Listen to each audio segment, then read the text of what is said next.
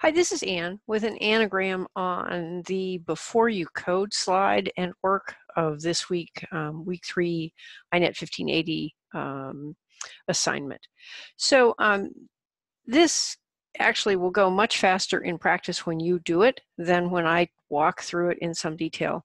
But there's some jargon here. There are some things that Replit does automatically that um, confuse the case a bit. And there's one of those famous hidden screenshot, hidden um, menu options that's like simple to find when you know it's there and impossible to guess. So um, just want to not leave you out there without a clue, uh, and I hope that this is useful. We're going to go through these four steps where we um, fork last week's uh, park project, create a new copy of it. Then we have to rename it um, and make sure we don't fork it another time because we don't want two copies. We only want one copy. Um, I'll talk you through deleting screenshots, although the Replit I have doesn't have those in it. And then just a little bit about creating a folder and uploading a screenshot to it.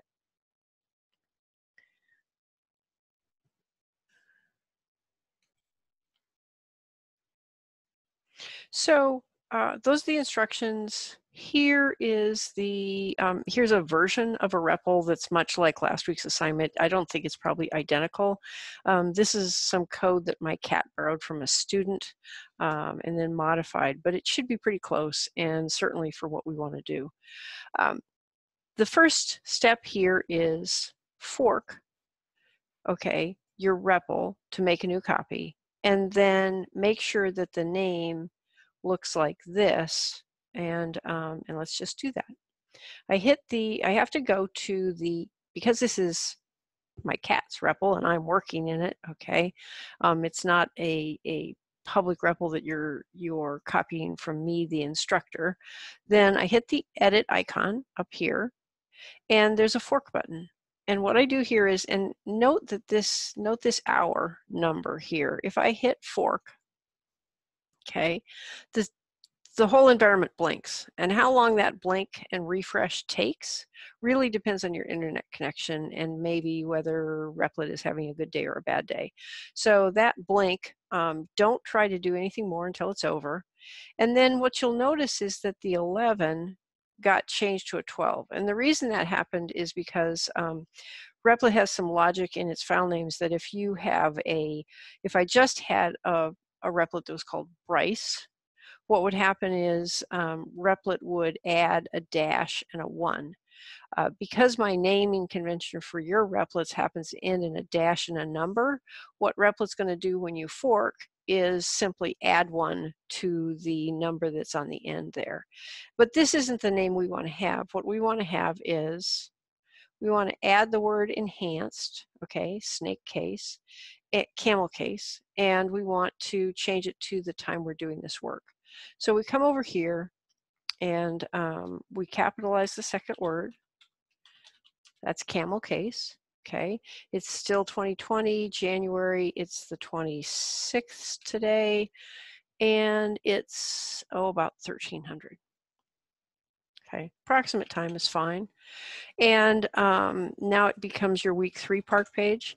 Now, the temptation here is to hit the fork button again because it kind of looks like a save button, and there is no save button here. Um, so this is the magic of a, of a actually, um, you know, internet pop-ups is that there's no save here, and when I just click off it, okay, once again my environment blinks, which tells me that Replit is saving my new code, and um, and I now have the name I want, okay, and the description I want, okay, and I'm ready to actually start work on the rest of this project. So um, I'm supposed to delete any screenshots from last week's work and um, Winston's project didn't have its screenshots yet. Just a quick reminder that if you want to delete files, then it's that option is under this little three dots by the file name and I could delete that. I don't want to delete that because that's actually being used in my page. That's this picture right here. Okay. Um, and next, I want to create a folder and um, name it W3 Schools. So let me just do that. That's pretty straightforward. Again, you, you either have to know this is the add folder thing or you have to hover over it long enough to get the add folder label up. But you'll learn these things and it'll become natural pretty quickly. So I'm going to add a folder. I'm going to call it W3 Schools.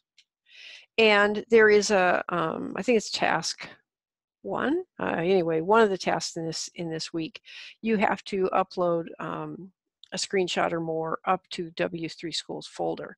Now, if drag and drop is working for you in your browser environment, you can simply go to um, whatever your file explorer is and drag straight onto W3 Schools, and that file will appear under this folder name, which shows you that it's in that folder. Um, if that's not working for you, or if when you, or if you like to use this option, okay, to upload a file where I click on these three dots, I get this drop down menu and I click upload file. Um, let's pick a picture that seems harmless. Um, hang on a sec. If I click here, I've got a bear, okay? And um, so that's not a screenshot, but it's an image and I'm going to upload it. So I click open. And you'll note that when I use this menu option, this bear um, image does not end up in this folder. So if you do it that way, or if you drag and drop and you don't hit the W3 schools, schools folder, simply take your bear and drag it into that folder. And you see it's indented underneath and the little teddy bear shows up in the right place. So um, it's really helpful to me when I um, grade if your files are all in exactly where I asked you to do. And I will, um, I will dock points for that because you really do want to make my life easier when I grade. Um, and I will try to make your life easier when you code.